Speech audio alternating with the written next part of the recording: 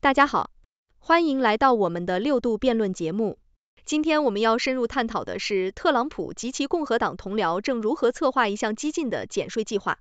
特朗普在二零一七年推动的税法即将到期，而他和国会中的共和党人准备在他再度当选后迅速采取行动，进一步削减公司税率并延长数万亿美元的减税措施。尽管国债飙升的风险令人担忧，但共和党人似乎对此毫不在意，反而信心满满的期望在特朗普上任的头一百天内实现重大立法成就。在这个背景下，我们将探讨共和党领导人如何通过简单多数制来推动这些政策，以及这些减税措施将如何影响美国的经济和国债。我们还会讨论减税将如何使富人受益，以及特朗普如何计划通过调整资本利得税的计算方式来进一步帮助上层收入阶层。然而，随着国会两党的财政对立加剧，是否真的能在没有相应支出的情况下推行这些减税政策？反对派的声音也在不断壮大，警告说这种做法将导致更大的财政危机。请大家继续收看详细内容。文章来源于华盛顿邮报，该媒体以其深度报道和对政治事件的深入分析而闻名。近年来，华盛顿邮报在美国政治新闻中扮演了重要角色，尤其是在美国总统大选及其后续政策变化的报道中。该报通常通过深入调查、采访和多方面的信息收集来呈现复杂的政治局势。这篇文章便是其典型代表。文章的开头介绍了当选总统唐纳德·特朗普及其政府在共和党全面控制国会的情况下，计划迅速推动减税政策的背景。共和党胜利后，特朗普政府准备在其任期的头一百天内取得立法上的重大突破，特别是在减税方面。文章指出，尽管国债面临飙升的风险，特朗普仍计划继续推进减税措施，包括降低公司税率并延长现有的减税计划。在接下来的部分中，文章描述了共和党在参议院中取得控制权后的计划。虽然众议院的情况上不明确，但共和党人相信他们将保持微弱的多数。共和党领导人计划利用和解程序来通过必要的政策，以便在参议院中以简单多数票通过法案，从而避免冗长演说的阻碍。为实现这一目标，众议院和参议院的共和党领导人已经秘密开会数月，准备在特朗普的第二个任期开始时立即采取行动。文章还讨论了减税政策的细节，特别是特朗普计划如何调整公司税率以及对个人所得税的影响。特朗普承诺延长个人减税措施，这将使所有收入阶层的纳税人受益。同时，他还计划豁免小费工资、加班费和社会保障福利的税款。这些措施可能会加速社会安全网项目的破产日期。此外，特朗普还提出将公司税率从百分之二十一降至百分之十五，这一提议将继续使高收入者受益。共和党内部对减税政策的看法也被详细记录。文章引用了多名共和党人的观点，他们认为降低税率和调整税收政策将促进经济增长。即将上任的参议院财政委员会主席麦克克拉波 （Mike Crapo） 表示，一切都在发挥作用，这反映了共和党对减税政策的信心以及立法优先事项的清晰思路。在接下来的部分中，文章探讨了2017年税收方案中未能实现或被限制的政策，包括企业税收扣除，特别是研发费用的扣除。两党都支持恢复这些扣除，认为这将有助于经济。文章还提到，特朗普可以在无需国会批准的情况下，通过调整资本利得税的计算方式，进一步降低税负。尽管这种计划在其第一任期末未能实现，但特朗普的顾问们仍希望在其第二个任期内再次尝试。此外，文章详细探讨了减税措施对国家财政的影响。根据无党派的负责任联邦预算委员会的估算，特朗普的税收计划可能在未来十年内增加九点一五万亿美元的国债。共和党人也提出了不通过相应支出限制来抵消减税的提案，这引发了人们对国家债务持续增长的担忧。尽管减税可能会刺激经济，但文章认为这些措施需要与削减开支或增加收入相结合，以避免进一步的财政赤字。文章最后指出，除了减税政策，共和党人还可能通过其他手段来控制税收法案的成本，如收回拜登政府时期的气候议程支出。共和党人希望通过这些措施消除拜登总统的重要政策遗产同时在不增加长期债务的情况下实现减税目标。请大家现在进入六度辩论环节。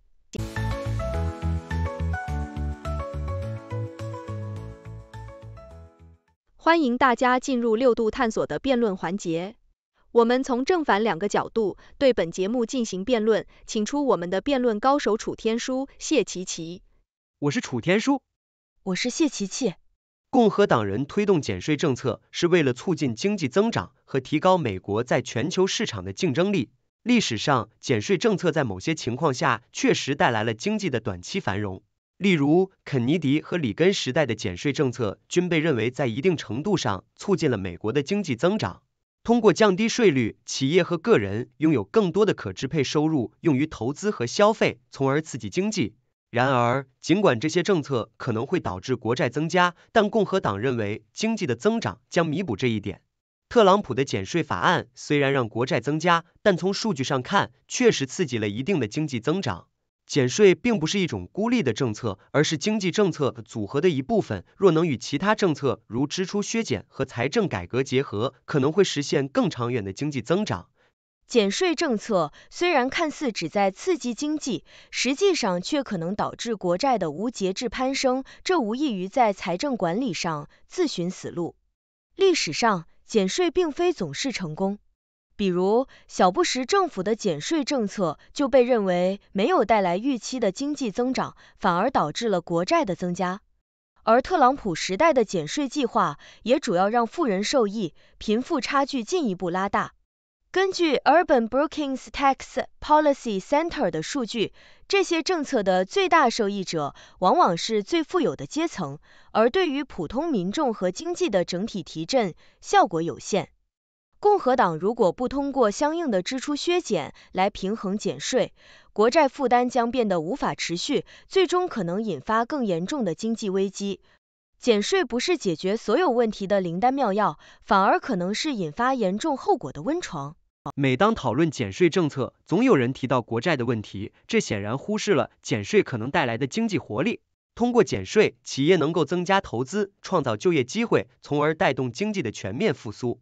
看看里根总统时期，减税政策帮助美国走出经济萧条，刺激了二十世纪八十年代的经济繁荣。即便是今天，许多经济学家也承认，适度的减税能够活跃市场，增加政府税收来源。这种正反馈循环能够部分抵消国债上升的影响。对于高收入者的减税，也有人称之为涓滴效应。虽然争议不断，但其理论基础是通过高收入群体的投资带动整个经济的增长。与其担心可能的国债增加，不如关注减税后经济增长所带来的税收增量和就业机会。通过合理的财政政策配合，减税的好处远大于其潜在的风险。所谓减税带来的经济活力，往往只是短期效应，长期来看，减税的代价是沉重的。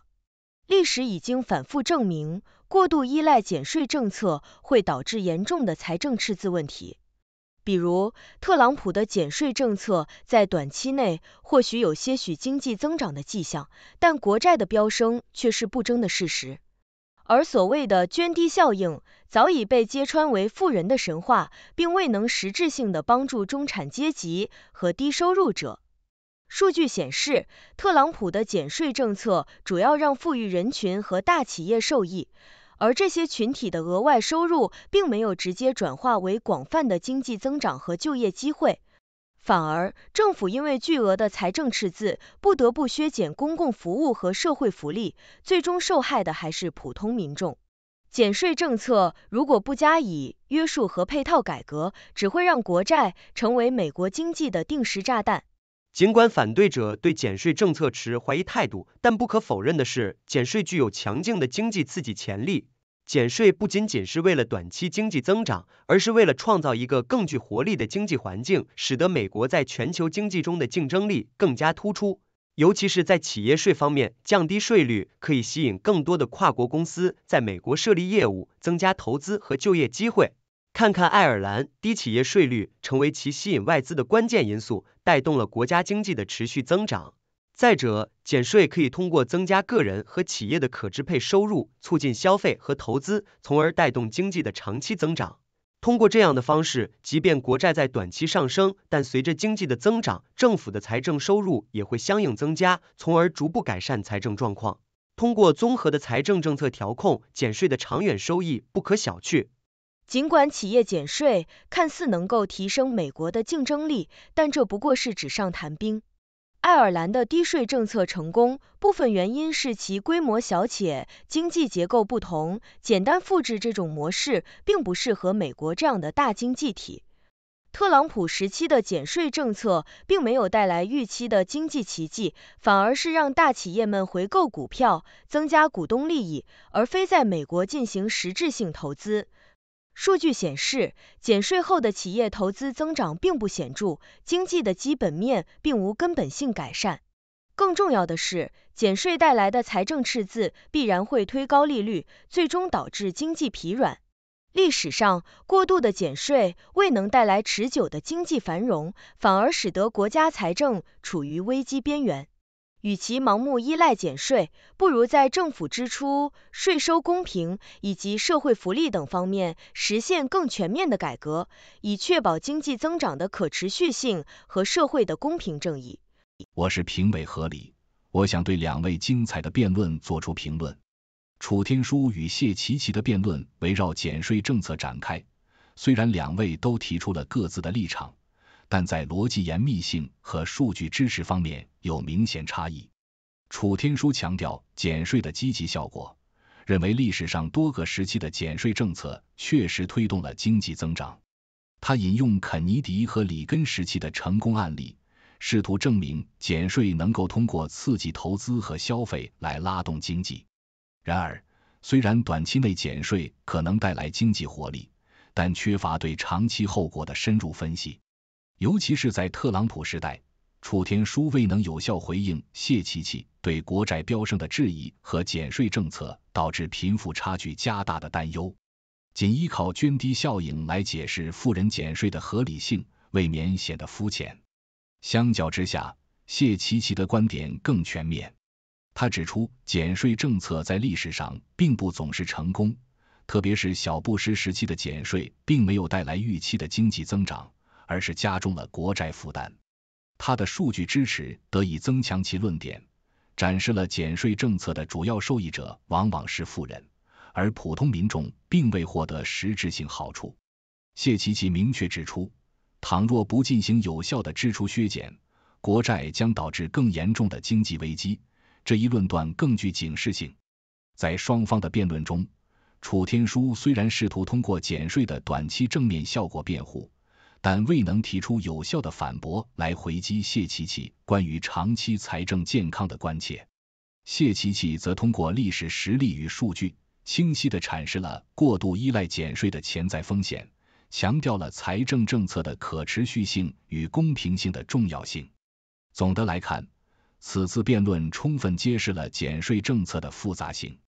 楚天舒的立场虽然充满激情，但缺乏对负面后果的深入考虑。而谢奇奇的观点则扎根于实证数据，体现了对社会整体福祉的关注。未来的讨论中，若能在两者之间找到平衡，或许能够为经济政策制定提供更具建设性的思路。